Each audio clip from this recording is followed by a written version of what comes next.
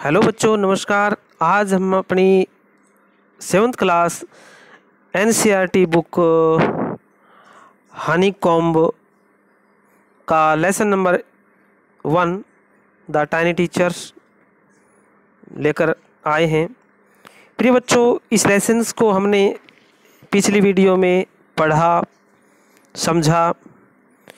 इस वीडियो के अंदर बच्चों, हम इस लेसन से संबंधित कुछ एम सी क्यूज़ हल करते हैं।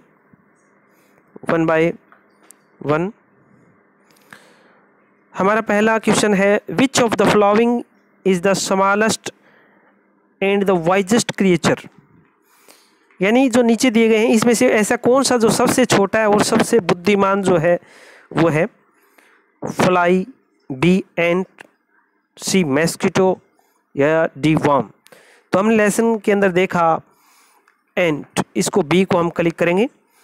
Ant is the smallest and the wisest creatures B हमारा राइट आंसर रहेगा।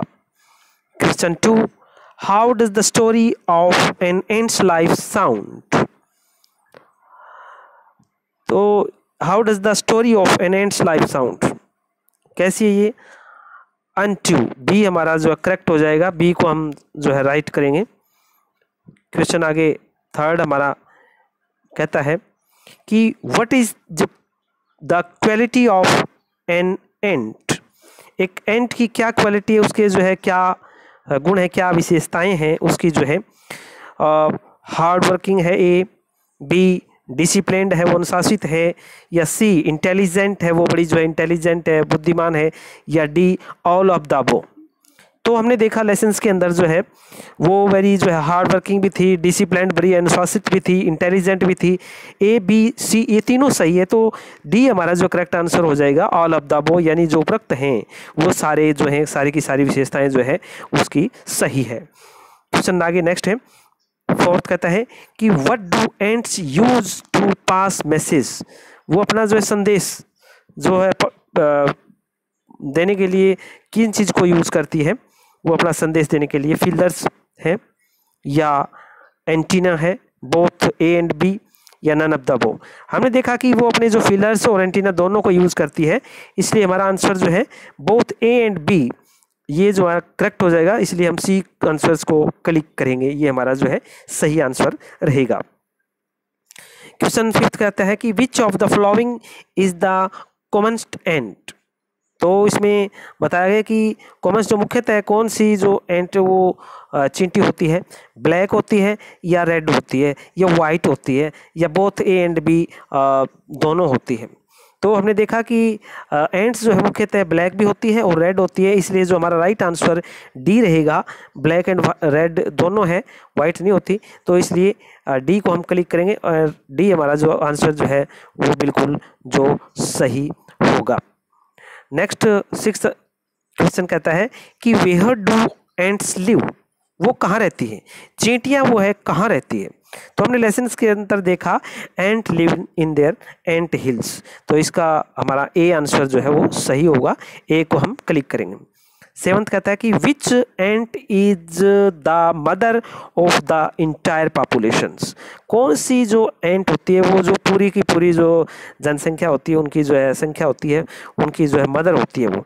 क्विन होती है, या वर्कर होती है, या सोल्जर होती है, या क्लीनर होती है। तो क्विन होती है, उनकी जो मदर होती है, वो रानी चींटी होती है, वो उन सबकी जो है, सबकी सबकी माता होती है। तो हम क्विन करेंगे ए हमारा राइट आंसर रहेगा। एट्थ कहता है कि what is the life span of the queen ant तो इनका जो है, कितना जो है वो अवधि है इसकी? क्विन एंट की five years ten years fifteen years या ट्वेंटी ईयर्स तो सी आंसर हमारा सही रहेगा। फिफ्टीन ईयर्स इनकी जो है लाइफ स्पेन होती है।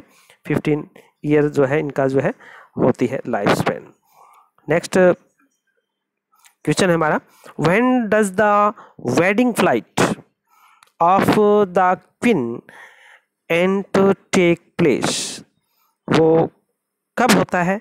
उनकी वेडिंग फ़्लाइट कब होती है? कौन से मौसम में होती है?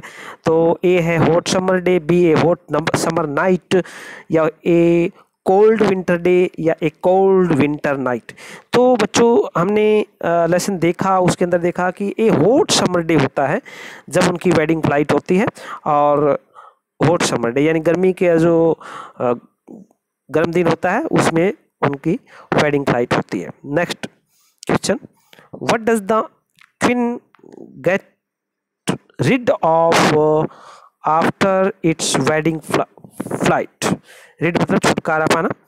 कब वो what does the queen get rid of after its wedding flight से वो क्या, किस चीज़ से छुटकारा पालाती आईज ईयर्स लेग या विंग्स तो विंग्स अपने पंखों से वो ये हमारा राइट आंसर रहेगा। पंख उनके जो है गिर जाते हैं? वेडिंग फ्लाइट्स के दौरान ये हमारा राइट आंसर रहेगा। डी को हम क्लिक करेंगे। क्वेश्चन इलेवेंथ आगे है कि